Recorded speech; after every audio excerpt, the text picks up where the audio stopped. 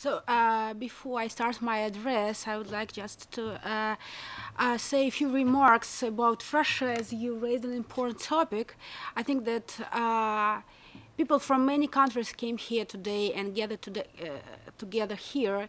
And 15 years ago, Russia wouldn't have been here because it was a democracy. It was a flawed democracy, but it was a democracy. It was not perfect democracy. We didn't have political prisoners in Russia.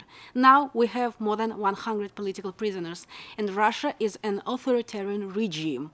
And that's very sad that in only 15 years, Russia has become a truly authoritarian regime with political prisoners and political repressions.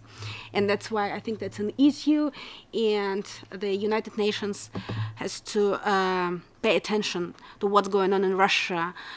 I don't have a lot of time to dwell on it. I hope tomorrow will be more eloquent together with Anastasia Zotova. I was asked to say a few words about myself. So I'm uh, the eldest daughter of Boris Nemtsov, Russian opposition liberal politician uh, who was killed almost two years ago on the 27th of February in 2015 in Moscow in the city center on Bolshoi Moskvoretsky Bridge, just 200 meters in front of the Kremlin walls. Uh, he, uh, the case has not been yet fully solved, and uh, I have uh, very little hope that it will be solved under Putin's leadership. Uh, it has been solved only partly, and unfortunately, currently, we don't have any international mechanisms uh, to even control the investigation. We have one uh, within the uh, Parliamentary Assembly of the Council of Europe, but it's I think it's very dysfunctional because they haven't still appointed a special reporter on uh, on my father's case, and it's deliberately done uh, because the president of uh, of the PASER, uh, Pedro Agramunt, uh, doesn't want to uh, have bad relations with Vladimir Putin. So I was a journalist in Russia. I worked for a privately owned channel, RBC. Uh, and I have never been uh, an active, uh, uh an activist, a civil activist, or a politician.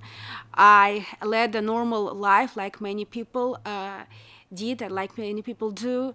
And I thought my father was the one responsible for human rights in Russia and for fighting for democracy, and I fully supported him. And my father used to say, you know, if you want to join me, you will lose your job. You have to, uh, you have to make this choice. So, but when my father was assassinated, uh, my choice was very obvious and evident, and it was my moral choice, and I was ready to lose my job. Uh, and I, uh, I was very actively involved in the investigation, and I am involved in the in the investigation process. And the most important goal of my life right now is to keep good memory of my father, uh, and that's why uh, I we together with. Uh, uh my father's friends and supporters, we created the Boris Nemtsov Foundation for Freedom. Uh, as I said uh, earlier, Russia is an authoritarian regime. That's why the Boris Nemtsov Foundation is right now registered in Germany, uh, where I live and now work as a reporter for Deutsche Welle, which is an international German um, broadcaster.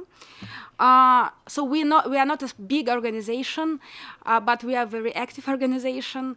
Uh, and uh, besides from keeping good memory of my father, uh, we have a number of projects. The Boris Nemtsov Forum to ensure Russian-European dialogue, the Boris Nemtsov Prize to praise those people who courageously fight for democratic rights in Russia.